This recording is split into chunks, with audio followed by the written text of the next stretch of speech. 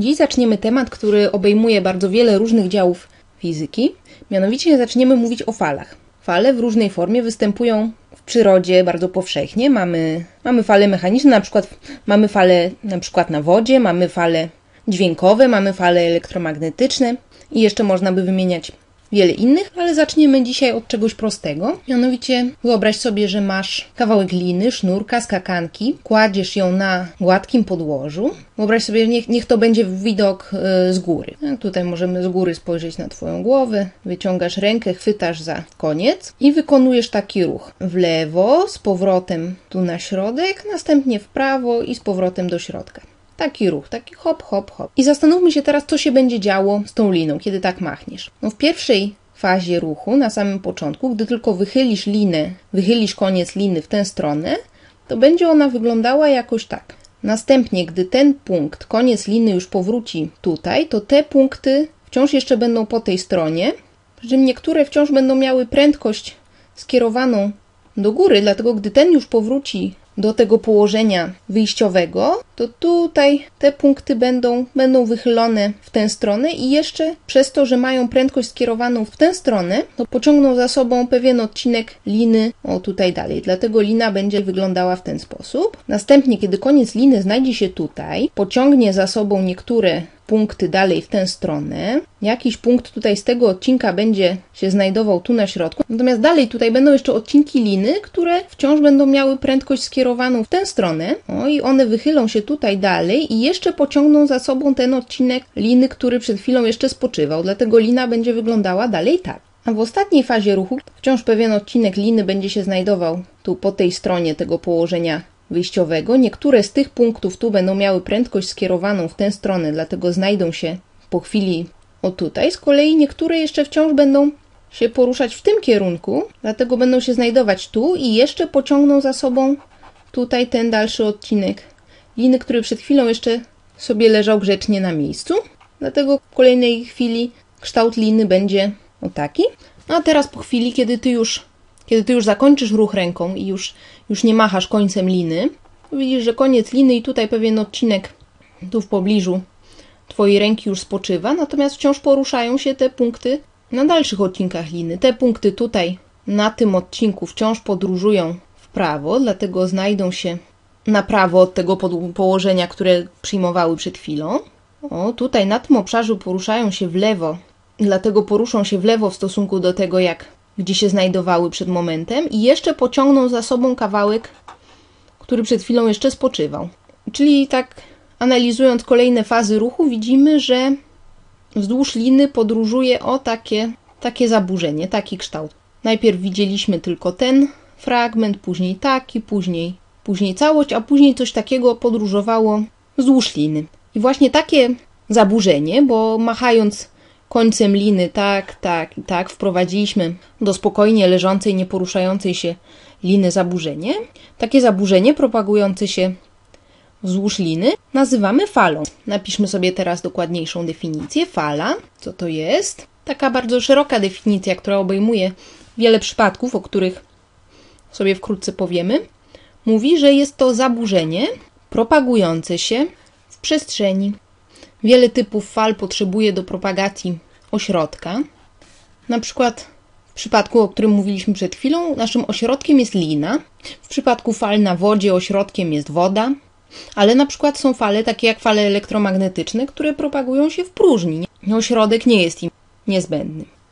I teraz propagacja tego zaburzenia, tak jak tutaj na przykład mieliśmy taką falkę na linie no i jest to zaburzenie ewidentnie, ponieważ przed chwilą jeszcze lina leżała sobie spokojnie prosto, a teraz tu jest wykrzywiona w jedną stronę, tu w drugą. I teraz to takie zaburzenie kształtu liny sobie biegnie od nas w kierunku drugiego końca. I teraz propagacja takiego zaburzenia zwykle wiąże się z przepływem energii. Co to znaczy? No spójrzmy, narysujmy sobie jeszcze raz taki większy rysunek, żeby było czytelnie. To jest obraz liny w jakiejś chwili T1.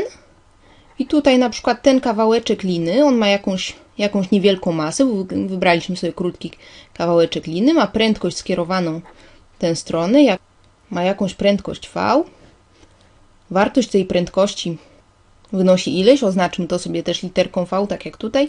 No i energia kinetyczna tego kawałeczka jest równa mv kwadrat przez 2, prawda? Jest to jego energia kinetyczna. No i tak samo dla każdego tu innego odcineczka takiego możemy wyznaczyć energię kinetyczną, z którą się porusza, ale po jakimś czasie, po chwili obraz naszej liny będzie powiedzmy taki, prawda? Tutaj ten, ten punkt będzie miał energię kinetyczną równą 0 w chwili jakiejś T2, natomiast taką energię taką energię będzie miał jakiś inny punkt, powiedzmy ten. Będzie się poruszał w tę stronę z prędkością v i będzie miał energię kinetyczną równą mv kwadrat przez 2. Widzimy więc, że energia podróżuje. Jakby tutaj, w tym miejscu, jakby już tej energii nie ma, natomiast znajduje się ona tutaj.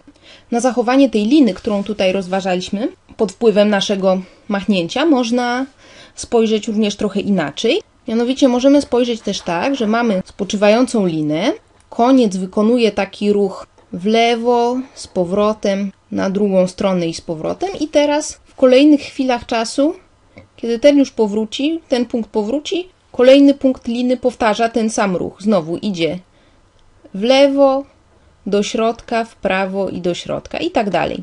I ruchy poszczególnych tu odcinków liny są tak ze sobą synchronizowane w czasie, że otrzymujemy właśnie taki, w efekcie taki właśnie obraz takiego biegnącego impulsu. Powiedzmy, ten punkt dopiero zaczyna się poruszać w tę stronę, ten już jest tutaj, ten już dotarł tu do końca i zaraz będzie wracał, a ten już wraca, ten powrócił już znowu na środek, ten, ponieważ wcześniej do niego dotarł impuls, to jest już, już jakby w tej fazie, ten punkt jest w tej fazie ruchu, kiedy już zawracamy i będziemy wracać do, do środka i tak dalej. Natomiast te punkty już powróciły na swoje miejsce i już spoczywają. Taki obrazowy sposób, w jaki można to sobie wyobrazić, to obraz tak zwanej meksykańskiej fali, którą wykonują kibice podczas różnych wydarzeń sportowych, kiedy wszystkie osoby siedzące koło siebie wykonują dokładnie ten sam ruch, siadają, wstają, siadają jedna po drugiej, ale tak to synchronizują w czasie, że wychodzi taka,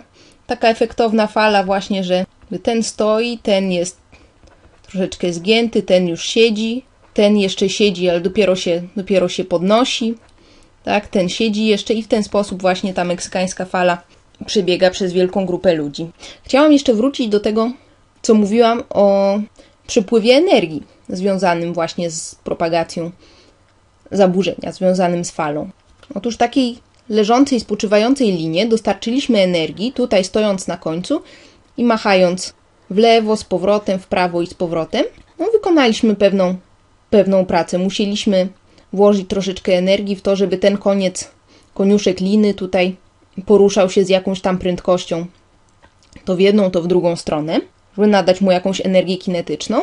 Ale potem, jak nasz koniec powrócił do położenia równowagi, już nic nie robiliśmy. Ale po chwili ten nasz impuls dotarł powiedzmy tutaj, i gdyby w tym miejscu na przykład położyć piłeczkę ping-pongową, leciutką, lina nasza powiedzmy jest dosyć gruba i ciężka, a piłeczka ping-pongowa jest leciutka, to ten odcinek liny, wychylając się, uderzyłby naszą piłeczkę i piłeczka by poleciała z jakąś tam prędkością.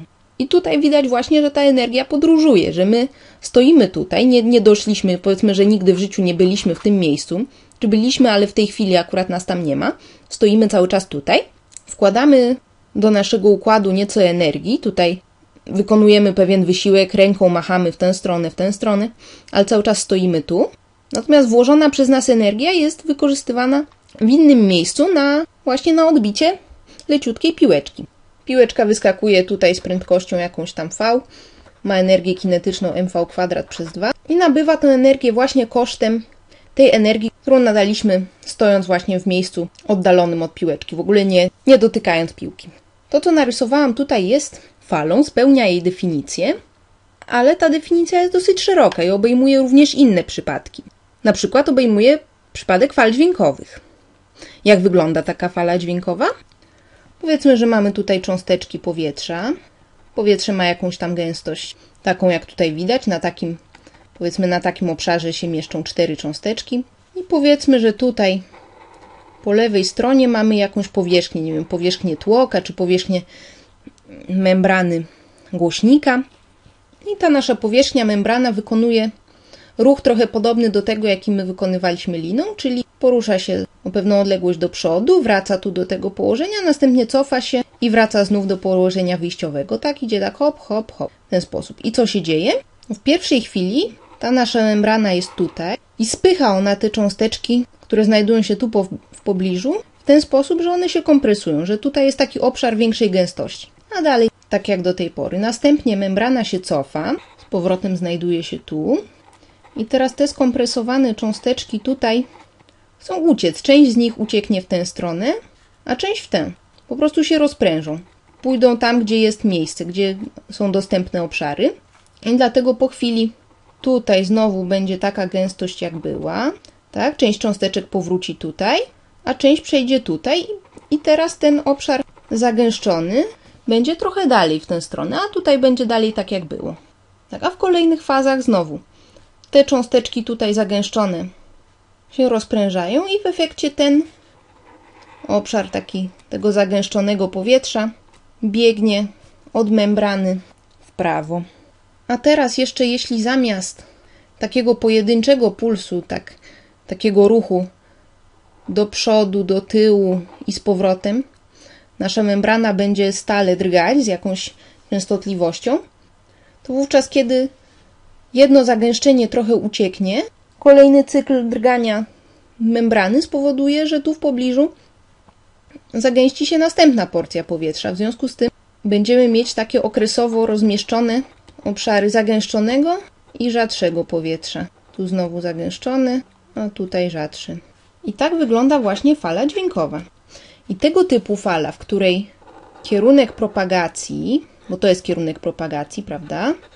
Nasze zagęszczenia biegną w tym kierunku, jak i kierunek zaburzenia. Tutaj zaburzenie też jest w tym kierunku, prawda? Cząsteczki nie wychylają się gdzieś w tę czy w tę stronę, tylko tu w tym kierunku się kompresują. Jeśli te kierunki, te dwie osie, oś wzdłuż której porusza się nasze zaburzenie i oś samego zaburzenia się zgadzają, to taką falę nazywamy falą podłużną. A taka fala, o której mówiliśmy, ta fala na linię, tak, zaburzenie biegnie w tym kierunku, to jest oś, wzdłuż której porusza się zaburzenie, ale samo zaburzenie jest w tym kierunku, prawda?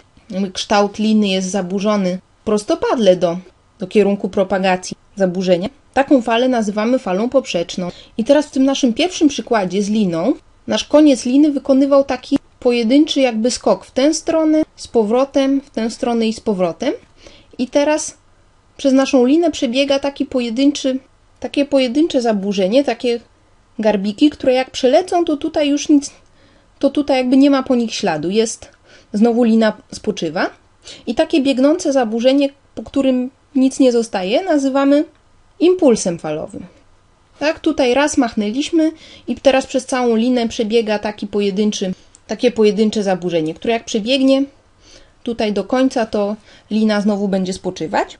Natomiast gdybyśmy tak okresowo machali w lewo, w prawo, w lewo, w prawo, w lewo, w prawo, to po tym jak to zaburzenie wywołane pierwszym ruchem już się trochę oddali, my zaczniemy już następny ruch, prawda? Więc tu pojawi się nowy garbik. Gdy to się oddali, to pojawi się jeszcze jeden i tak dalej. W efekcie uzyskamy taką okresową, periodyczną falę na naszej linie. Jeśli będziemy stale w ten sposób naszą liną poruszać, to uzyskamy właśnie taki obraz. I teraz w kolejnych filmikach będziemy omawiać różne własności takich, takich fal. Własności takie jak okres, amplitudę, częstotliwość, długość, prędkość propagacji. Ale teraz jeszcze na koniec chciałabym Cię przekonać, że choć w życiu ciągle spotykamy się z falami, to idea fali jest dosyć, jest dosyć abstrakcyjna, niezależna od pewnych szczegółów. I na przykład taka, i na przykład taka fala dźwiękowa z pozoru zupełnie inna, bardzo mocno różniąca się od naszej fali zrobionej przez wymachiwanie końcem liny, tak naprawdę okazuje się całkiem do niej podobna. Zobaczmy, narysujmy sobie wykres gęstości powietrza. Tutaj gęstość jest duża, a tu jest mała, tu znowu jest duża, tu jest mała, tu jest duża, tu jest mała i tak dalej. I okazuje się, że właśnie tę gęstość można opisać tym samym wzorem matematycznie, co położenie fragmentów liny. I dlatego zarówno takie zaburzenie propagujące się przestrzeni, jak i takie określamy wspólnym mianem fali, bo matematycznie są one do siebie bardzo podobne. A w kolejnych filmikach, jak już mówiłam, będziemy rozmawiać o własnościach takich fal.